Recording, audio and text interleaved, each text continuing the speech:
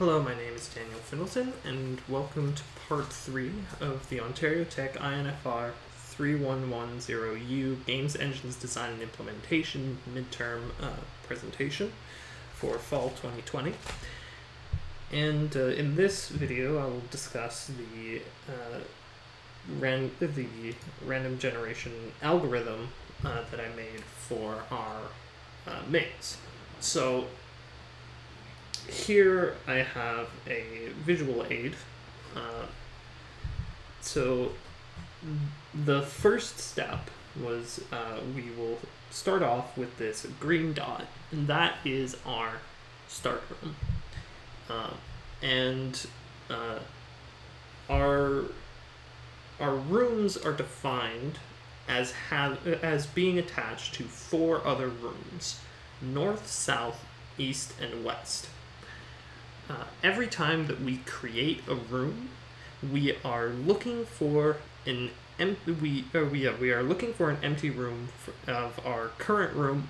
We are creating a new room uh, in that pointer, and every time that we create a room, say to the north, uh, we will also be linking that northern room to our current room uh, as the northern room's south room. uh, which essentially, like, if we have. Uh, we should always have a link like this, and so as we go on, our map would look something like this, right?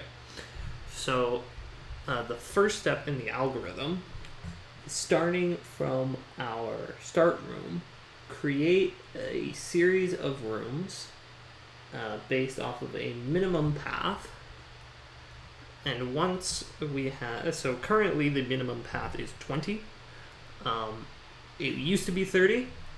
Made some really big maps. Decided that let's not do that. Um, so after it has created uh, a single randomized path, uh, we then plop our end room. We begin like this uh, simply to ensure that we will always have a path from the beginning to the end. And along, uh, along the way, we put four checkpoints. Um, so the player will always encounter at least four checkpoints before they reach uh, the end room. After we've generated that, uh, we then go on to the bloat phase, where uh, each room, upon generation, will have a, uh, a number of desired paths, which uh, are for the most part, uh, two, which means that each room should be linked to two other rooms. Though certain rooms, uh, such as the start and end room, uh, have one path, and uh, some rooms upon generation uh, will spawn with either three or four different paths. So, starting from our start point, uh, I use a recursive algorithm to step through the uh, entirety of our path, room by room, and if uh, if the it, the room uh, wants to have more paths, we simply generate as much paths uh, to a certain extent. So, as it is, uh, it currently goes half what the current uh, minimum path would be uh, recursively. So if I were to uh, begin a path, say uh, about halfway, uh, I may only generate one more room. Whereas if I branch off uh, at the very beginning, I'll end up with these long, complicated branches that will eventually turn into one or two rooms. Now, uh, this was done, I chose to use half simply uh, because it prevented the maze from getting too big. But a problem that we had was that we'd have these, the end uh, room would would end up in down these long hallways. So to combat that, starting from the ending, we have a reverse uh, recursive generation. It's the same uh, function that we use, uh, but we just start it closer to the end. And that will create more paths to flesh out our, uh, our maze even more. Once we have uh, created the topography of our maze, the next step is to fill it with the various hazards. So that's your moving walls, your pits, um, uh, new checkpoints, and these are uh, are placed by uh, for by we get the the uh, the minimum and maximum dimensions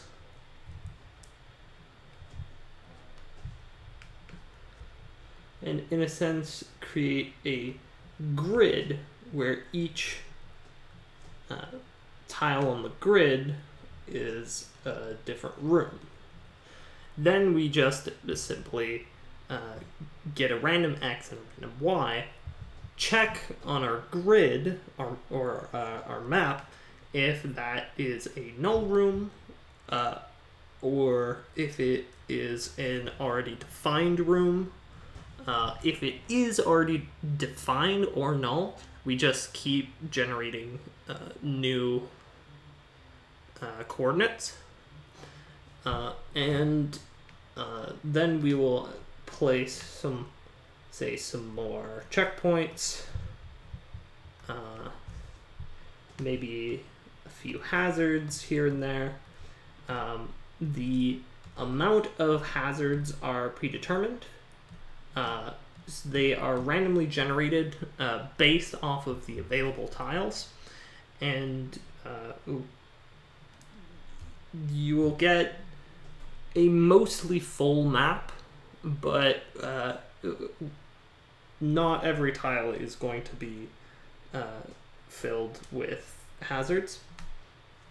Um, and so once we have filled the map with hazards, uh, note that these rooms are abstract.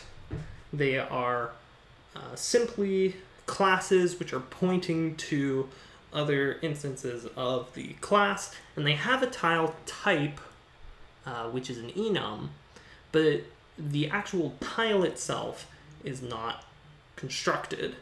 Um, so uh, next comes the build phase, where uh, again, using a recursive algorithm, starting from our start point, uh, we will build the actual 3D maze. Uh, and every time that we build a room, we will label that room as being built so that as we spread out down the different branches, uh, we will never turn back uh, we will always be moving forward. And since we don't have any isolated paths or anything like that, we are guaranteed to reach uh, the different extremities of our